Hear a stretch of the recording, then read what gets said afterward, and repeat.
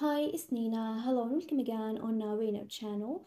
And in today's video, I'm going to show you how to block someone from seeing your Snapchat story. So let's get started.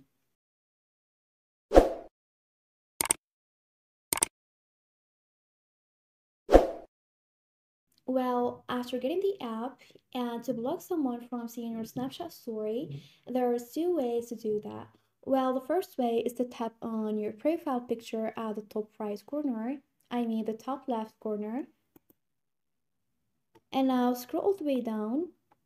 And as you see here, I don't yet add a Snapchat story. Now tap on the three dots next to add to my story.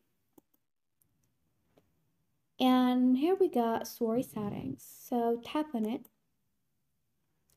And now tap on custom.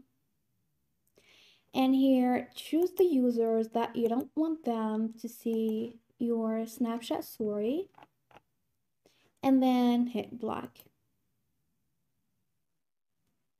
And like that, those users can see your Snapchat story.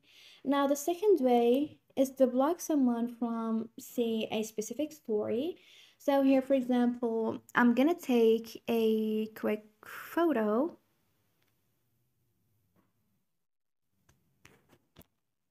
Now tap on next at the very bottom right corner. Now tap on my story and then hit share. And now quickly tap on your profile picture at the top left corner and tap on the three dots.